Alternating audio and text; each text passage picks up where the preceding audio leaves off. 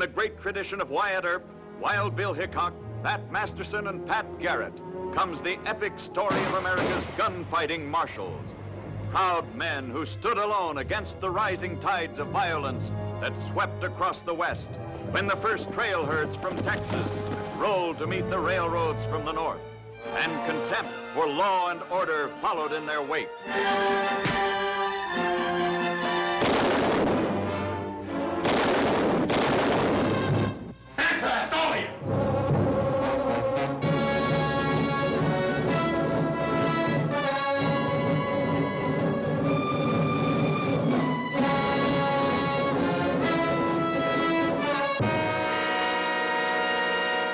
Someday I will kill you. Or some night, maybe. Night or day. that doesn't matter. What matters is the killing, no?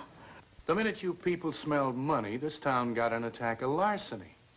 I don't blame that on Barrett. I blame it on you. You're supposed to be respectable. You talk about law and order. You'd sell out for a copper penny. Any one of you. You're robbing and stealing just the same as he is. If I was on this council, I couldn't look in a mirror without vomiting.